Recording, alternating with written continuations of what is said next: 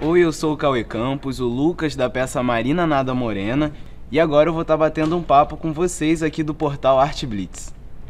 Então, é a minha estreia e eu tô muito feliz assim de estar participando e o que me atraiu para vir para esse projeto e tudo mais foi que quando eu conheci o pessoal da produção e eu já tinha um contato com a Mel em um trabalho que a gente fez junto, mas quando a gente sentou assim para conversar e tudo mais, que a gente leu o texto, o texto e toda a união que aquela produção tinha assim, aquilo tem ainda, né? Aquilo me me convidou automaticamente assim, foi quase que um abraço assim, chamando vem, e eu achei aquilo tão lindo que tô aqui.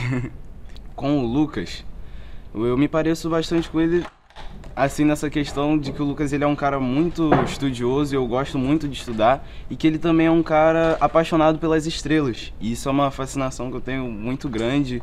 Amo as estrelas de verdade, não sei todas, como o Lucas sabe, mas a gente tem em comum aí essa paixão.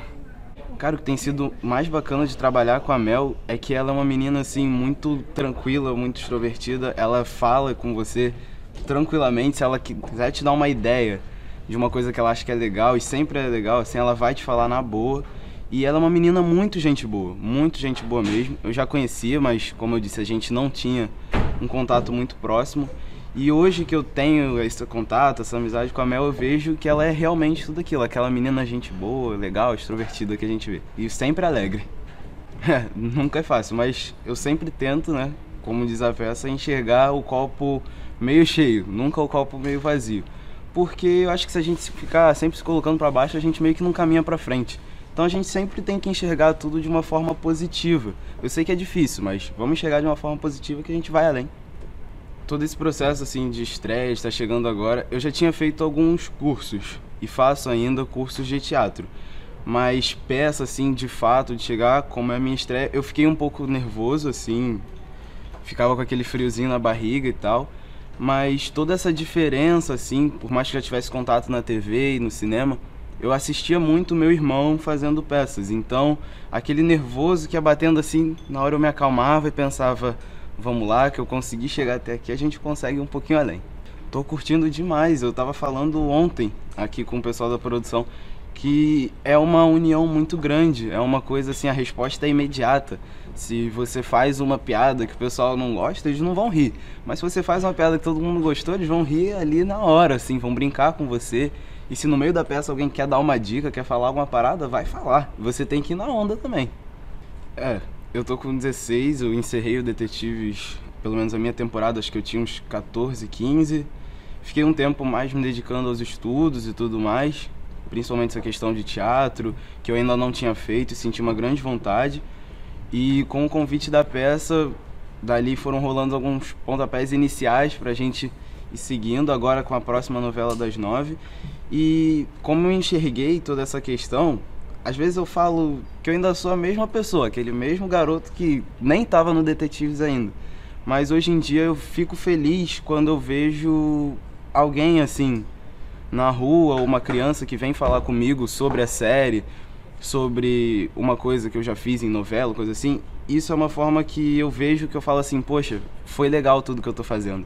Então vamos fazer melhor para deixar mais pessoas mais felizes cada vez mais. Nunca imaginava de verdade. Às vezes eu pensava assim, porque eu, quando eu era pequeno eu pensava em ser um jogador, caminho totalmente diferente assim. Mas conforme eu fui caminhando para esse mundo assim, que eu fui vendo como é que era, eu fico feliz. Então não me passava na minha mente um dia estar tá em uma novela, um dia estar tá em uma peça, um filme. E aí hoje em dia que eu vejo que eu tô conseguindo essas paradas, eu fico, nossa, é legal. Então vamos cada vez mais além, enxergar sempre o copo cheio. Rapaz, do porquê de eu ter deixado o futebol de lado, foi porque eu entrei em campo e eu vi que eu não era isso tudo não. Eu vi que tinha uma galera muito boa ali e eu falava assim, ó, acho que é boa ficar lá fora de gandula, assim. Aquela galera lá não era era uma galera acima, assim. E aí eu fui desenvolvendo uma paixão muito grande por esse mundo, assim, das artes e tal. E eu acho que eu tô indo bem. Se der certo, a gente vai melhor. então, mas o meu próximo personagem é um feijão. Ele é um personagem que ele tem uma família, mas não é uma família muito presente na, na cidade onde ele mora e ele convive com algumas crianças. Apesar dele ser um cara mais velho, ele tá sempre com as criancinhas pequenas, cuidando delas e ajudando com essas brincadeiras assim de infância mesmo, bião, soltar pipa, jogar bola, tudo isso. Gente, venham assistir a peça porque, particularmente dizendo assim, é um texto que quando eu vi eu me apaixonei e eu já tenho escutado muitas pessoas dizendo que gostaram porque acham que é um texto legal, um texto feliz, alegre, que mostra sempre essa questão da saudade, como tratar isso de uma forma positiva. E porque vocês vão se divertir, eu garanto para vocês, é super legal mesmo, de verdade. E eu tô em cartaz todo sábado e domingo às 5 da tarde aqui no Shopping da Gávea, no Teatro das Artes. Venham, assistam e é isso. Tchau, tchau, pessoal do Portal Arte Blitz. Beijo.